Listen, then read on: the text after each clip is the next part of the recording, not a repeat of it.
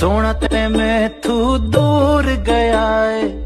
ਹੋ ਕੇ ਸਜਣ ਮਜਬੂਰ ਗਿਆ ਏ। ਅੱਖੀਆਂ ਦੇ ਵਾਸਤੇ ਖੁਸ਼ੀਆਂ ਹੋਣ। ਹੋ ਕੇ ਹਿਜਰ ਵਿੱਚ ਚੂਰ ਗਏ ਸੋਹਣਾ। ਪਿਆ ਪਰਦੇਸ ਕੱਢੇਨਾ ਸਜਣਾ ਨੂੰ ਦੂਰੋਂ ਦੂਰੋਂ ਵੇਂਦਾ। ਸਾਡੀ ਤੇ ਸਾਰੀ ਸੁਣਦਾ ਏ ਪਰ ਆਪਣੀ